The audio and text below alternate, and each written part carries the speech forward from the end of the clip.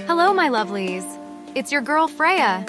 Today, I want to share a part of my life that has filled me with immense joy and empowerment competing in track and field. It's more than just a sport to me, it's a passion that fuels my soul and pushes me beyond my limits. From a young age, I discovered the exhilaration of running, the feeling of the wind against my face, the rhythm of my feet hitting the ground. It's a sensation like no other. Track and field became my sanctuary, a place where I could challenge myself, both physically and mentally. The thrill of stepping onto the track, heart pounding with excitement, is incomparable. The starting gun goes off, and all that matters is the race ahead.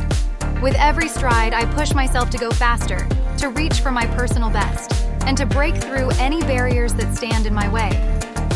Competing in track and field has taught me the power of discipline, determination, and resilience. It's not just about the wins or losses, it's about the journey of growth and self discovery. But it's not just about me. It's about the incredible community of athletes and coaches who have become my second family. We support and uplift one another, celebrating each other's successes and providing a shoulder to lean on during challenging times. Through track and field, I've learned to embrace failure as a stepping stone to success.